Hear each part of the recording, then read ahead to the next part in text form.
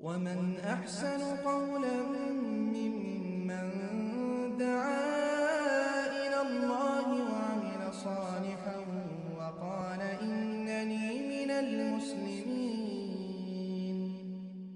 ওয়ালাইকুম আসসালাম রহমতুল্লাহ এই প্রথম নম্বর কথা হচ্ছে ছেলে মেয়ে এক একই রুমে নির্জনে থাকা এটা জায়েজ না শরীয়তে আল্লাহ রসুল সাল্লাহ আসলাম বলেছেন লা ইয়াখলুয়ান্না রাজুলুন মা আমরা إلا ومعهما ثالثهما الشيطان أو كما قال صلى الله عليه وسلم বলেছেন লাহরান্না রাজুলুন বিমরাআতিন ইল্লা মা'যি মাহরাম মাহরাম পুরুষ যদি সাথে না থাকে, তাহলে অন্য কোনো পুরুষের সাথে যেন কোনো মহিলা সাক্ষাৎ না করে। তো এই যে টিচিং যে প্রাইভেট টিচিংয়ের ব্যবস্থা, এটা যদি এরকম থাকে, মাহারাম পুরুষ সাথে থাকে, তাহলে ঠিক আছে। আবার নিয়মতান্ত্রিক, দূরে থাকবে, একদম কাছে না। মাহারাম পুরুষ যদি থাকে, সে বুঝবে, লজ্জাও থাকবে, ওনার কী হক করবে কি না। একদম শুরু থেকে শেষ পর্যন্ত থাকবে। এরকম যদি ব্যবস্থা থাকে, তাহলে ঠিক। আর কারণ ওখানে আরেকটা আছে শয়তান।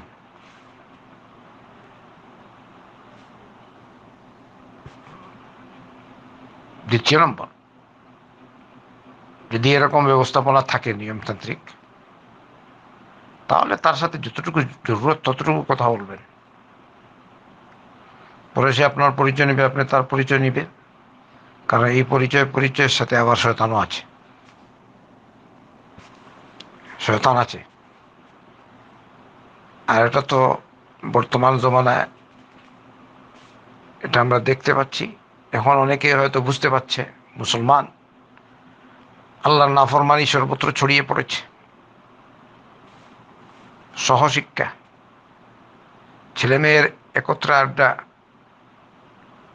বেহায়াপনা বেল্লাপনা সর্বত্র ছড়িয়ে পড়েছে।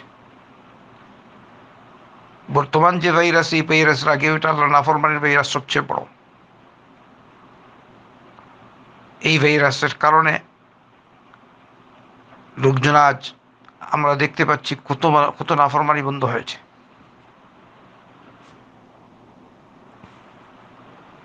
যদি সমাজে এরকম বেহায়াপনা ছড়িয়ে পড়ে তাহলে হাদিসে যেভাবে এসছে তার বাস্তব নমুনা এখন দেখতে পাচ্ছি। যদিও সবাই বলে না এটা, কিন্তু কথা বোঝা দরকার। আল্লাহ নিজে বলেছেন জহারুল ফাসাদ ফিল মানুষের কর্মফলস্বরূপ জলে স্থলে সর্ব, সর্বত্র বিপর্যয় সৃষ্টি হয়েছে। আল্লাহ আমাদের হেফাজত করুন।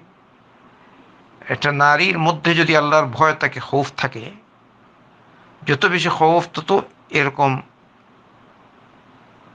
অন্য ছেলের সাথে কথাবার্তা, সাক্ষাৎ থেকে সে তত বেশি দূরে থাকবে। এমনকি এই যে সোশ্যাল মিডিয়া, চাই হোয়াটসঅ্যাপ বা অন্য কিছু, এগুলির মাধ্যমেও কত আল্লাহ নাফরমানি হয়? তাই কার সাথে কীভাবে কথা বলতে হবে, তাও বুঝতে হবে। কারোর সাথে টিচার যদি সে দূর থেকে পড়ায়, তাহলে ওইভাবে নরম স্বরে কথা বলবে না, মেয়ে। স্বাভাবিকভাবে কথা বলবে। এরকম না যে মিনতি করে বা এরকম। এটা আল্লাহ নির্দেশ। আল্লাহ পাক নিষেধ করেছেন। সর্বোপরি, এটা যেহেতু আমার এই বোন প্রশ্ন করেছেন